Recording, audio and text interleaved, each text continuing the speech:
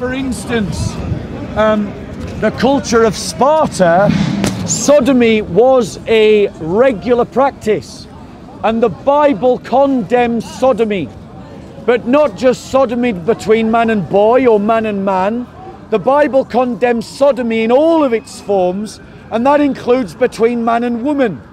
And the reason why the Bible condemns sodomy is because sodomy goes against the point of sex.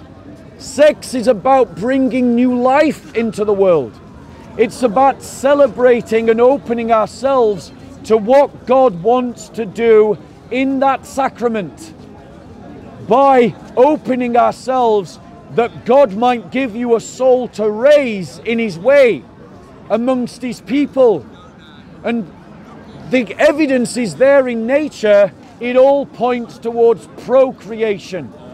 And yes, the reward of sex is pleasure. And yes, sex should be pleasurable. So get good at it so that your wife or your husband can enjoy it. And look after yourself physically so that your wife or your husband can enjoy your body. Because your body is a gift to your partner. So look after it and keep in shape.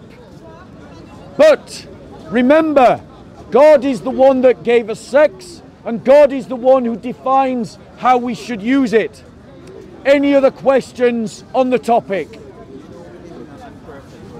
Sorry? We live in an unperfect world. Do I be- We live in an unperfect world. yes. And sometimes a man or a woman, they born like that and they cannot help themselves. Right. A man cannot help himself sleep with the next man, and a woman cannot help themselves because they genetic born with, Okay. with. So let, let me reply to that. you know, I, I everything what you're saying for that I agree with you. Right. But you know, sometimes because we live in an unperfect world, Okay. So let me reply to that. we can we can look at that we can look at that and say we understand that some Yeah. So Like so that. so let me reply to that. Yes. Because the brother raises a good point. We will live in an imperfect world that is full of sin. And we live in the West, which is a totally sexualized society. And so wherever you go, you're constantly being bombarded with sexual messages in the West. Messages that constantly inflame our passions and make them rise. And so inevitably in the church, we have to recognize that our brothers and sisters are going to fall because they are going to give in to that sin. That's inevitable. The point of the Christian is to think about how we organize our fellowships and organize society to reduce those possibilities. And that looks like this it means we need to desexualize society. Let's stop prostituting small children with clothes that objectify them. How many girls who are not even past puberty have you seen wearing miniskirts? Miniskirts were created by a woman who said she wanted women to be more, have um, easier access to sex in the afternoon. The reality is that we sexualize everything in our society. And we need to desexualize our society because our society, you don't need, ladies and gentlemen, to inflame the natural passions. They're there naturally, they don't need to be inflamed. And harming them harms us. When we inflame them, it harms our psychology, it harms our emotional structure, it harms our ability to maintain long term relationships. Studies have shown that women, particularly women, I don't know why it lands this way, it just does.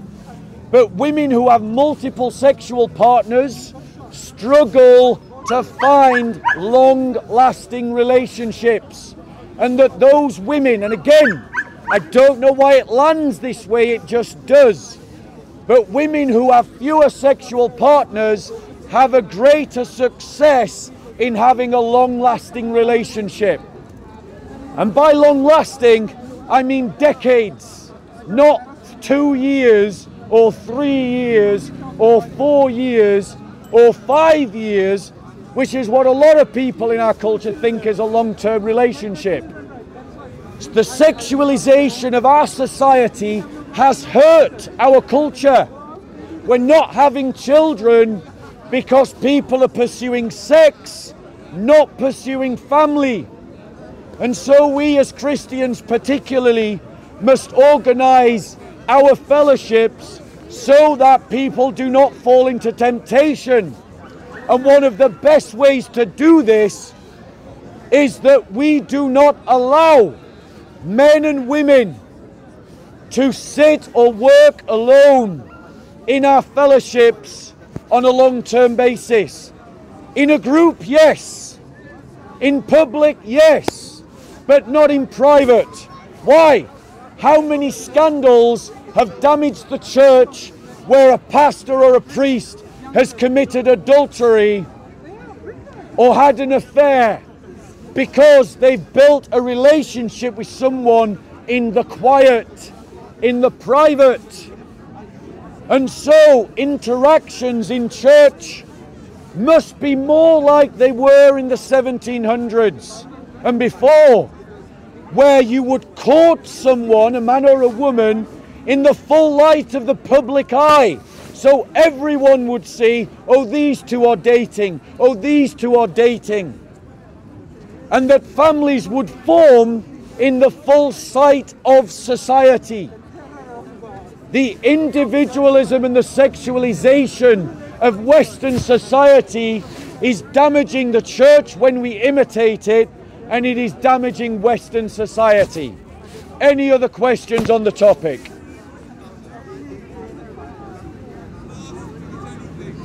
Okay, ladies and gentlemen. Going once. Any questions? You mentioned mental health. Sorry? You mentioned mental health. Yes. Um, I've been studying it myself. I'm enthusiastic about yeah, mental. I do more in mental health basically. Okay. And what's your question, sir? Um, what's the church's standpoint on that and marriage and mental health in marriage? and mental health? Yeah. If we if we as Christians believe that we should honor marriage, then that means we must do what we must do to defend marriage. That means that when there is an abusive husband, the brothers of the congregation perhaps need to take that abusive husband into the boxing ring and teach him what it's like to be hit every time he lays his finger on his wife. It means that when we witness people struggling in their marriages as Christians, we should get around and support them. And it means that when we see people struggling in their own mental health, as lots of women do after their first child, there's a whole condition connected to the depression that lots of women feel after they give birth.